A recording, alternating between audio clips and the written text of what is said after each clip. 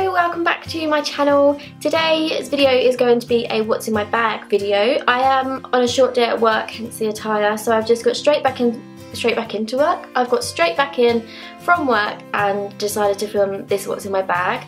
I will just get straight into it because no one likes a rambler. Okay, so my bag is this one. It is the Sydney bag from Fossil. It's in the colour Heritage Blue.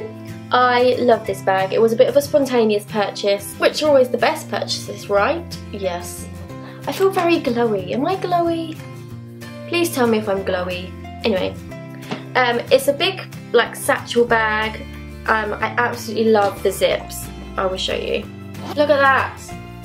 Look at that. You can fit so much stuff in here. The leather's beautiful. It's really, really soft leather, um, which I love. I don't really like a hard leather much prefer soft leather. Then you've got the short handles here and you've got a long handle that can be taken off as well.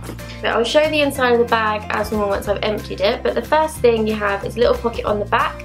Um, I do sometimes put my phone in it if I'm carrying the bag like quite close to me. But if I'm having it over the shoulder, I don't. I put it in my bag. But there, in the moment, ew, this is kind of gross. There is my bus ticket with a Mankey plaster attached to it. That's nice. The funny story behind that plaster is actually, I haven't hurt myself. Um, my nail has started to like chip, so I stuck a plaster in it so I wouldn't play with it because I'm a big one for picking nails that are like chipping and I need to not do it. So I distracted myself by sticking a plaster in it. It worked though, I still have my nail. Okay, onto the inside of my bag. I'm just going to pull it out randomly and then whatever it is, is. Oh wow, I'm really not doing well with filming today, am I? No. Pretty self-explanatory. I'm trying to drink more water actually, so I do try and carry a bottle of water around me all the time. Insta-Dri from Sally Hansen. This is honestly my favourite top coat ever.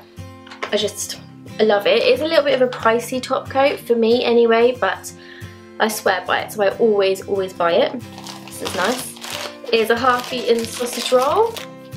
This was my breakfast this morning because I was on a short day, I wasn't taking a lunch. So I was like, I'm going to have to eat something, otherwise I'm going to get really hungry. So I bought a massive sausage roll and clearly didn't finish it. I also bought a chocolate chip flapjack, flapjack but I did finish that one. It was good. My fossil purse, and you may notice that we match. Yep, that was done on purpose because that's just how cool I am.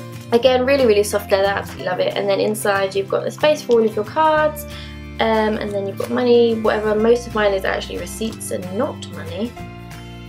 Um, and then you've got the coin, you've got the double popper actually before I go anywhere. I really love this double popper. So if your purse gets really full, I wish, you can just put it on the like a, you can put it on the higher one and then it bulges out a bit more. Um, and then you've got the money zip on the back. Love this purse. It's a Zoeva brush. This is the uh, 106, the powder brush and I carry it around with this powder which is the Stay Matte Rimmel. It's in translucent, is it? Yeah, transparent, not translucent. See straight through me. Is one of my favourite, favourite powders. It's a matte powder obviously as you know. Um, and I'm a massive fan of matte. I do not really into the whole like glowy skin kind of thing. It just kind of makes me look a bit greasy and sweaty and I don't really like that. So I carry that around with me all the time in every single one of my bags. Um, fragrant free facial wipes from Halo. I got these in, wow, really is glowy. Um, I got these in a beauty box, I can't remember which one it was, but I love them and they're so small and easy, just throw in your bag. So I just use these if I'm like wanting to take my makeup off early when I'm on the way home or anything like that. Always good to have some wipes there. Next is a receipt for petrol, that's a depressing receipt. Repeat prescription reminder. A hand sanitizer. I'm a big fan of washing my hands, so hand sanitizer is a must in my bag. But it's cucumber and garden mint, so it actually smells quite nice. I hate the smell of like, yeah, it is nice. Those alcoholic ones, ooh, I hate the smell of alcohol hand sanitizers, they're just disgusting. There's a crumpled up bus ticket and paracetamol. Can't go wrong. Oh, it's actually a full packet. That's rarity. Normally it's empty. EOS lip balm. I got this from Topshop and they're really sneaky. This one's really nice. It's, I can't remember what it's called. I think it's honeysuckle scent. I'm not 100%. But it's the green one, anyway.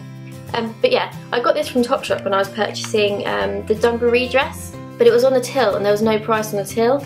They were on the bottom here, but I didn't look. I just kind of picked it up and was like, yeah, I'll have that too. Seven pounds! These are seven pounds, so it better last me for like ever. I have to say though, I do really like it. It is a lovely lip balm and it's so easy to use. As for lip balms, not easy to use, but you know what I mean. With I really like the domed top. It's just quick, done. This is my MAC um, pink plaid. I love this. It's my perfect everyday lipstick. It's always in my bag or always in my makeup bag and I just whack it on and we're good to go. Pouch from Lynx, which is covered in hair, which is disgusting. Um, and that's got my iPhone headphones in. I don't actually ever use them though, so I don't really know why I carry them around in my bag, but you can guarantee there will be one point that I won't take them and I'll need them, and then what am I going to do exactly? Molton Brown London little sample, it's a body lotion, and it's in the scent Ylang Ylang. Um, a girl I work with went and bought her dad a birthday present from there. And I'm not quite sure what happened, but something went wrong with something, and she got given loads of samples, so she gave me this one because it smells amazing. Mm. I cannot wait to use this. In fact, I'm going to use it today, decided. 30, thanks. Thank you. 30 mil though for samples, so you actually get quite a lot in there samples. My car keys, my Ray-Bans which were a birthday present, so you've all seen them. I will show you them though. Um, it's just these ones. They're the Polaroid, like, classics, I think. They're lovely. I love them. That's the main pocket. As you can see, look, we're empty now.